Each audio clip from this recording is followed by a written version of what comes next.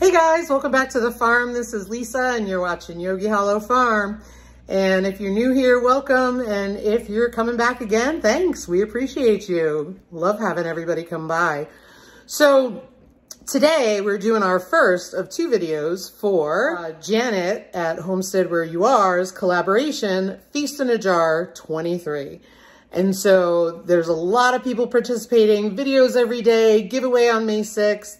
So make sure you're liking, subscribing, and leaving meaningful comments on each of the videos. If you cut and paste comments, they're going to be deleted by YouTube. Make sure you check out all the other collaborators. The description box is down below, and I will have all that information for you. Meals in a jar is something that I feel pretty passionate about. And why do I feel passionate about it? Well, first of all, there's many reasons to stock your pantry, right? Number one, the state of the world. Enough said. We're not even going there. The other thing is you might live in a rural neighborhood like we do. Um, so it's easy to have things on hand. Um, all the obvious reasons, right? Let's look at some of the not so obvious reasons. And what do I mean by that? Well, this week I hurt myself and it's not something I planned on, but I'm glad I had meals in a jar because all I had to do was pull things out of my pantry, add water, and we had some good home cooked meals. That's what it's all about. And they were good, they were hot, and they really served a purpose. And with limited mobility, I was able to get food on the table. Come on along, we're gonna make a Sloppy Joe freeze-dried meal in a jar. Just add water when it's to reconstitute it so we can eat it. And it's a copycat of a very popular Sloppy Joe sauce in a can, and y'all know what I'm talking about, begins with an M. So come on along. All right, let's look at the ingredients. So you'll need a can, an eight ounce can of tomato sauce. I only have a 15 ounce, so I will use what I need and freeze the rest. You need a cup of ketchup, a tablespoon of onion flakes, a tablespoon of green peppers finely chopped, a teaspoon of salt, a half a teaspoon of minced garlic. However, all I have is garlic powder, so I'm going to use that. A quarter of a teaspoon of celery seed, a half a teaspoon of chili powder, and a teaspoon of mustard, ground mustard that is, and then one pound of ground beef. I have that defrosting and so what you're going to do first is you're going to brown the ground beef. I'm not going to take you along for that because y'all know how to do that. So I'll bring you back when it's browned. So there's the one pound of ground beef that is now nicely browned and drained. And it says to you add all of the ingredients on top of the beef and mix it in. I'm going to mix it in a bowl so I can mix it really good and then pour it in. So I'm going to just put all those ingredients that I mentioned earlier in the bowl so I'm going to start with the ketchup and then I'll measure out the tomato sauce to eight ounces like we said.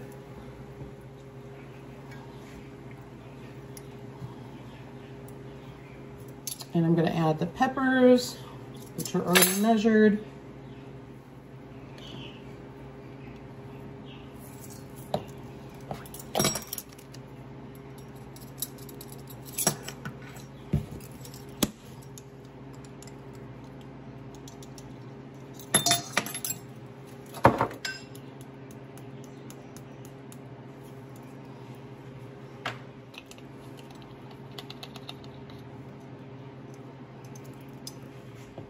And then the mustard.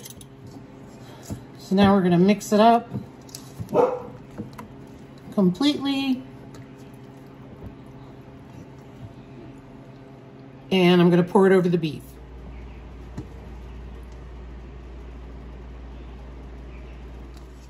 We're gonna mix this all in so it's incorporated. We're gonna simmer this for about 10 minutes.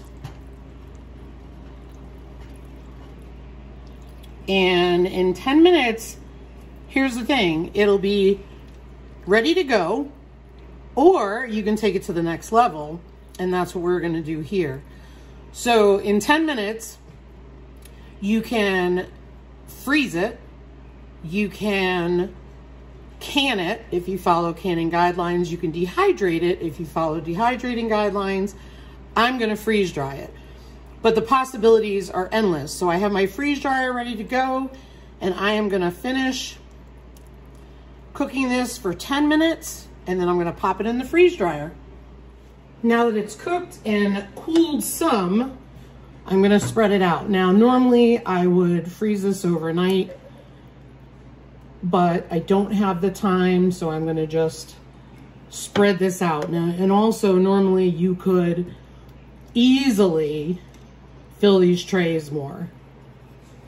But again, this is just demonstration purposes.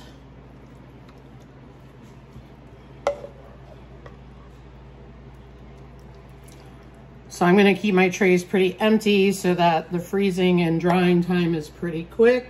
I'm gonna make sure they're fairly even and fairly level.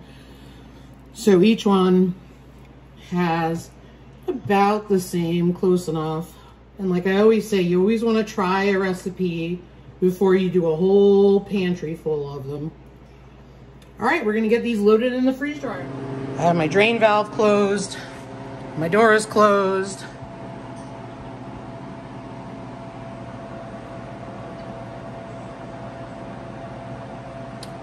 and we'll bring you back when they're done.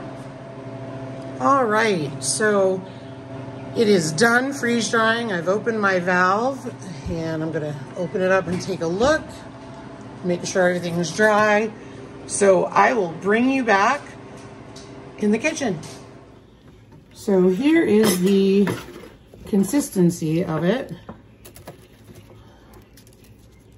I don't know if you can see that. just crumbles. So what I'm gonna do is just break it up in pieces and throw it in my jar and I've got my canning funnel up there. I'm not gonna try to break it into tiny little pieces or anything like that. Keep it real simple just so it all goes in the jar. That's where these silicone mats come in really handy because you scoop them up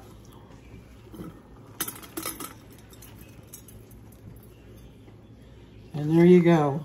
And basically the amount that I made, I would say I would want in one jar. So I might have to break this up more and I'll show you a little trick for that.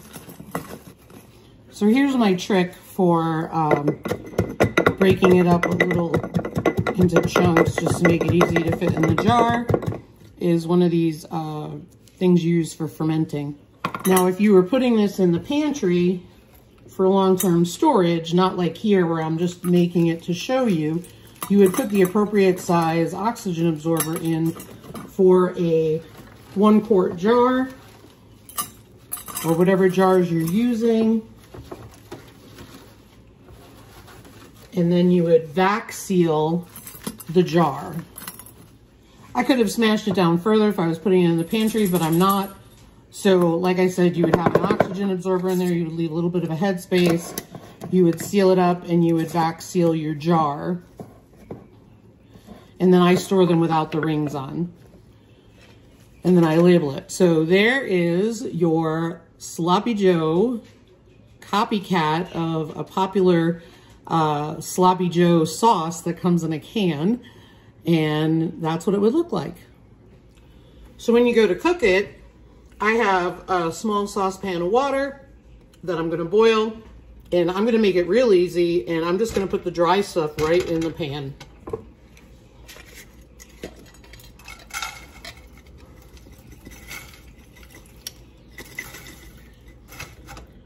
So you would literally just grab this right out of your pantry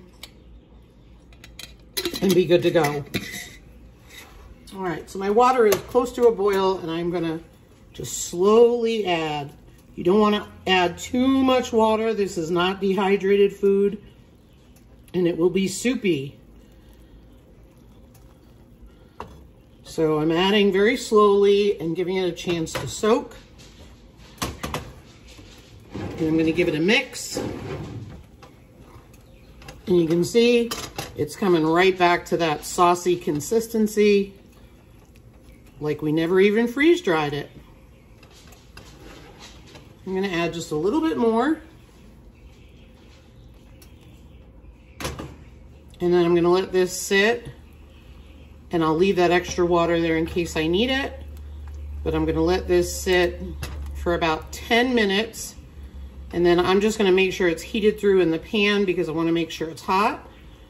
And then we'll give it a good old taste test. And the good news is, is what I did was I had my husband taste it before I freeze dried it. And then um, I'm gonna have him taste it again after now that it's reconstituted and he can tell you, uh, you know, what he thinks about the freeze drying process. So there you go. It looks just like Sloppy Joe's. So it's sat about 10 minutes. I think the consistency is good and just making sure it's hot enough. I did not add any more water. Oh, it smells so good. I'm gonna get it plated up and we'll give it a taste.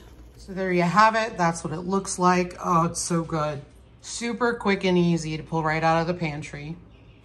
Tastes about the same um, as it would before it was freeze dried as it does now. It tastes pretty good. And it's definitely a sloppy Joe. Mm -hmm. Does it taste like that popular uh, canned stuff? Because that was a copycat recipe. Yeah, it tastes pretty close. Yeah, it's pretty good. Keeper? Mm-hmm. All right, guys. Well, there you have it. I'll have the recipe in the description box down below. But I did want to end this with one little tip. I would suggest not putting the teaspoon of salt that it called for in there. And the reason why was as we were eating our lunch, I I am not a fan of salty food. Ryan will add salt to his food a lot more than I would. However, we both felt it was a little salty. So I would adjust the salt or omit it completely and add it afterwards. So that's my tip for you. But thanks for watching, everybody. Make sure you check out all the other videos in the collab. And as always, don't forget to like, subscribe, and leave us a great comment down below. Have a great day. Take care.